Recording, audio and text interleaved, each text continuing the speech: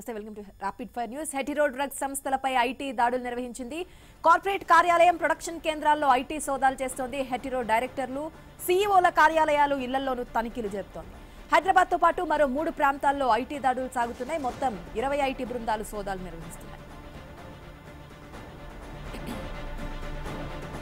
అమరావతి అంశంపై పాఠశాల విద్యాశాఖ మరో వివాదాస్పద నిర్ణయం తీసుకుంది. పదవ తరగతిలో అమరావతి పాఠాన్ని విద్యాశాఖ తొలగించింది. నూతనంగా ముద్రించిన పుస్తకాల్లో అమరావతి పాఠ్యాంశం కనిపించడం లేదు. రెండు వేల పద్నాలుగులో పన్నెండు పాఠాలతో పదో తరగతి తెలుగు పాఠ్య పుస్తకాన్ని ముద్రించారు. సాంస్కృతిక వైభవం కింద రెండో పాఠ్యాంశంగా అమరావతిని చేర్చారు. తాజాగా పాఠశాల విద్యాశాఖ దాన్ని తొలగించి పదకొండు పాఠాలతోనే ముద్రించారు.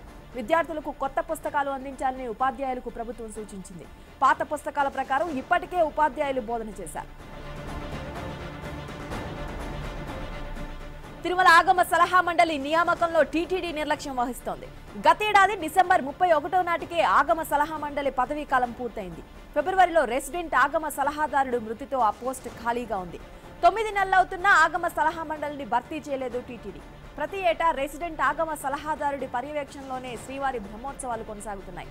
ఈసారి ఆ సాంప్రదాయం తప్పింది.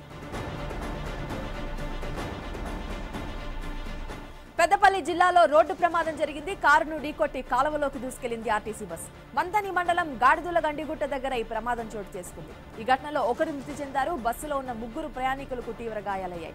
మృతి చెందిన వ్యక్తి ఖాన్సాయిపేటకు చెందిన వినీత్గా గుర్తించారు. ఆర్టీసీ బస్సు బెల్లంపల్లి నుంచి హన్మకొండ వెళ్తుండగా ఈ ప్రమాదం జరిగింది.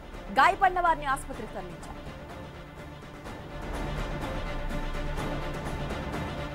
లఖీంపూర్ ఖేరీ ఘటనపై నిరసనలు చల్లారలేదు. రాహుల్ గాంధీ లఖీంపూర్ పర్యటనకు అనుమతి నిరాకరించడంతో ఉద్రిక్తత నెలకొంది.